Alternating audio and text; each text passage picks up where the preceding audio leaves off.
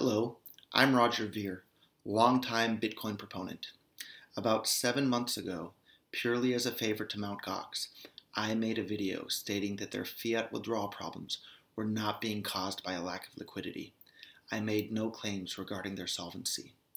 While everything I said in the video was factually true, today I have come to regret making it for them. It ended up causing the community to put additional trust in an entity that deserved none.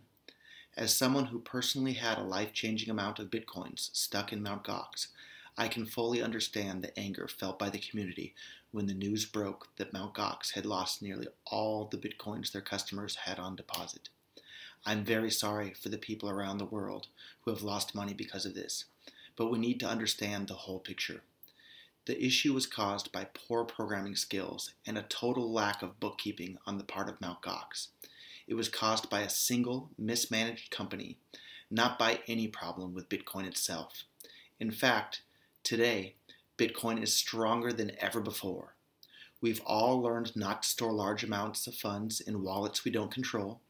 We no longer have to deal with an exchange that can't process withdrawals in a timely manner, takes months to respond to support requests, and whose prices deviate wildly from the other exchanges. We've had the recent wonderful announcements that Playboy, Tiger Direct, and Overstock.com are now accepting Bitcoin.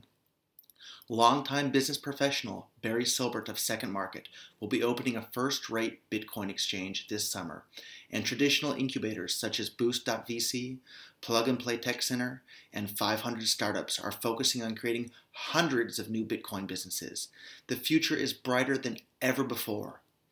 From here on out, I would like to ask people to realize that the answers to our problems don't depend on lawyers writing more laws enforced arbitrarily by countless regulators who use them to help their friends and punish their enemies. We already have more than enough of that in this world. We need to focus on voluntary cooperation using trustless systems in which one group of people don't have arbitrary control over others. Bitcoin and Ethereum provide us with the tools we need to build this more peaceful and prosperous future.